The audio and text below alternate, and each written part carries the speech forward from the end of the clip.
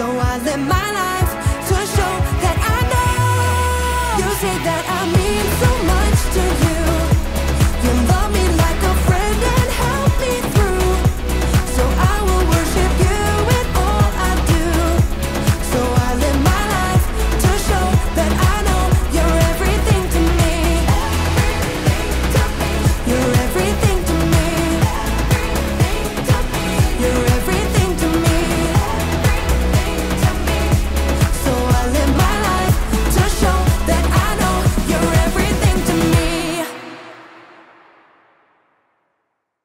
And that's why turtles can't eat too many bananas. And cut. Great job, everybody. We got 15 seconds. Go, go, go, go.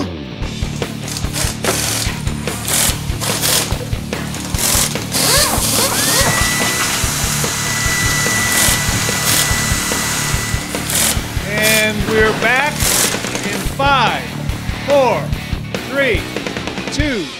one.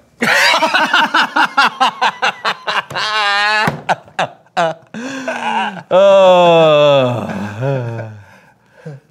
What were we laughing at again? I don't know.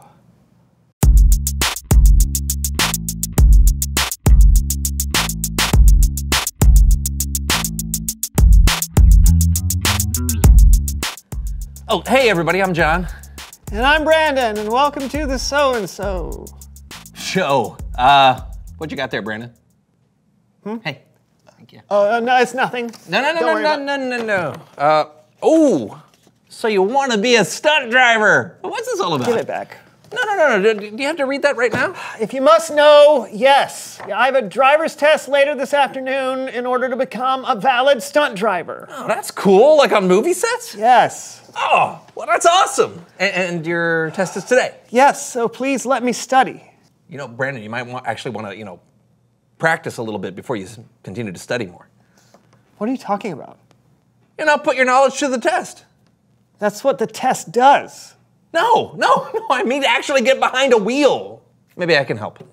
What do you know about stunt driving? Oh, I've seen lots of movies, friend. That's true. Mm -hmm. So, can I help you? Because I really want to help you, my friend. I don't know. Uh, maybe you're right. We've got the show to do, and I don't want to take up your time. Brandon, so- you are worth my time.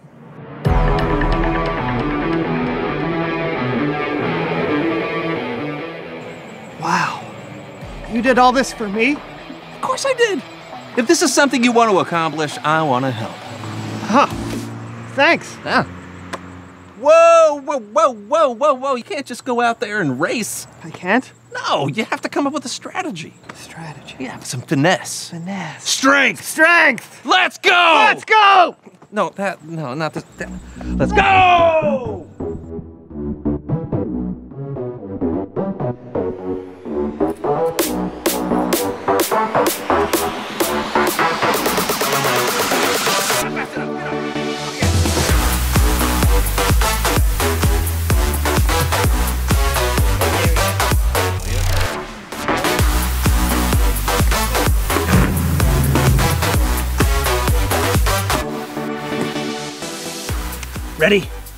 Set. Set. Go! Go! Right.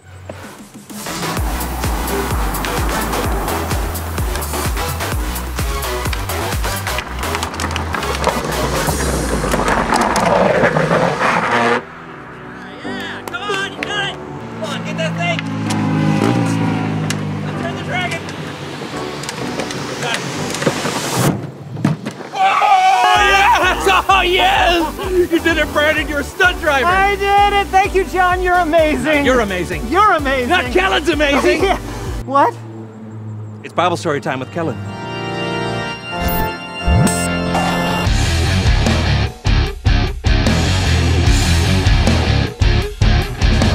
Hey, hey! Hey, Kellen. Hey, how's it going, Kellen? Oh, it's going great. And you want to know why? Why? Because I got two amazing friends that are going to help me tell the Bible story. You mean us? Oh, um, no. I mean Becky and Bathilda. Today, they're going to be playing the parts of Mary and Martha. This story was written down in the book of Luke, chapter 10. Jesus and his disciples were traveling, and they came to the village where Mary and her sister Martha lived. Martha welcomed Jesus into their home, while Mary sat at Jesus' feet listening to everything he said. Now, it's not written down what he was actually saying, so we don't actually know. But it might have been something like this. Love your neighbor as yourself. Martha, however, was busy with all the things that had to be done. So much to do. Jesus is here! I gotta make sure everything is perfect. I mean, it's Jesus. And his friends. And they're in my house eating my food! Just as the Father has loved me, I have loved you. Now, remain in my love. This is so not fair! My lazy, selfish sister! She's leaving me to do all the work by myself! Jesus! Don't you care? Ah! Tell my sister to come help me! That's basically what Martha did. She ran to where Jesus was and said, Lord, my sister has left me to do the work by myself. Don't you care? Tell her to help me. Can you imagine what that must have been like? Everyone in the room waiting with anticipation to see how Jesus would respond.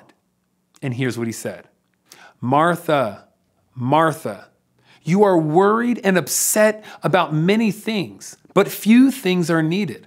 Really, only one thing is needed. Mary has chosen what is better, and it will not be taken away from her. Jesus wasn't mad at Martha for working hard, but he reminded her that what Mary was doing, giving him her time and attention, was the most important thing. When we give our time to someone, it shows them that we care. Now, let's see how that plays out in Becky and Bathilda's everyday life. Oh, if I can just finish editing this video together, it's gonna be so good! Becky, will you come play with me? I'm busy. Just for a little bit. Come on, big sis. Well, suppose I don't have to finish this right now. And it's definitely not more important than my brother. Coming! That was pretty great. Becky realized that spending time with her brother was way more important than what she was doing on her phone. She made time to show someone, her brother, how much she cares. Now, let's see if Bathilda gets it. Ooh, I'm so excited about this shopping deal. Okay, sale ends in three minutes. I've got this. Just gotta find one more thing to add to my cart. Bathilda, Grandma just got here. Come downstairs and visit. Oh, Granny! Sure thing, Mom! Yes, that's perfect! Purchase! Oh, my favorite game. Wouldn't hurt to just play one round. Bathilda, Just a minute! Grandma's leaving soon. Can't you tell that I'm busy? Wow, that did not go so well. Bathilda totally missed out on spending time with her grandma because she was too caught up in what she was doing on her phone. She definitely did not show her grandma that she was important. Just like Mary and Martha, we can choose to prioritize what's most important and spend time with the people in our lives. Mary chose to spend time with Jesus, to learn from him, and to get to know him. And we can do that too, both with Jesus and with people in our lives. The end. Thanks, Kellen. Yeah, great lesson. You know, sometimes I get so busy doing my own thing, I forget to make time for others. Oh, Yeah, me too. But it seems like Jesus was never in a rush or too busy for the people around him. Mm-hmm. That's true.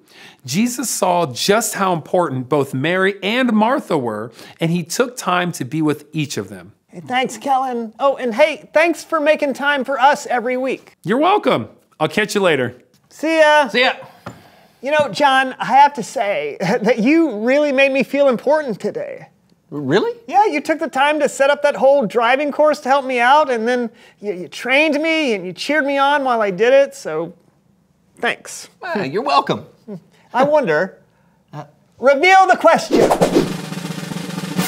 How has someone shown you you're important? Uh, oh, it could be that someone came to cheer you on at your big game or performance. Um, or maybe someone helped take care of you when you were feeling sick, or, or took the time to just hang out with you. You all have people in your lives who are important to you. It's good to let them know that sometimes, with your words and with your actions too. Yep, so talk about it together. How has someone shown you you're important? And we'll see you next time on the Zoe and Zo Show!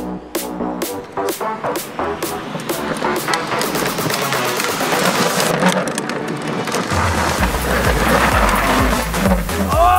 look at that! Look at that!